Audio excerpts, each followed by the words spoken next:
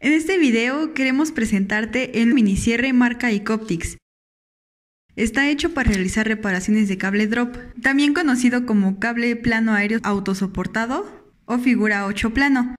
Tiene capacidad para hasta dos empalmes y en su interior su tapa muestra las longitudes de cable necesario para poder realizar con éxito la conexión. Debemos considerar que usaremos una longitud de 36 centímetros y hay que separar la fibra del mensajero esa misma longitud. Para el cable mensajero será necesario dejar 3 centímetros de alambre para poder fijarlo.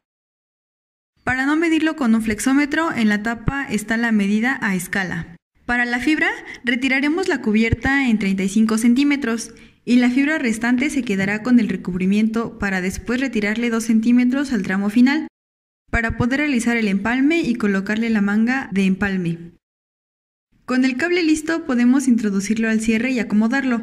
El mensajero deberá introducirse en esta parte y la fibra alrededor del cierre. Una vez listo podemos introducir el otro cable y al finalizar podemos realizar la fusión y terminar. Una vez listo cerramos el cierre y hemos reparado con éxito nuestro enlace. Si el video te gustó, no olvides dejarnos un me gusta, compartirlo en tus redes sociales y visita más videos de nuestro canal. Nos vemos en la próxima. Gracias.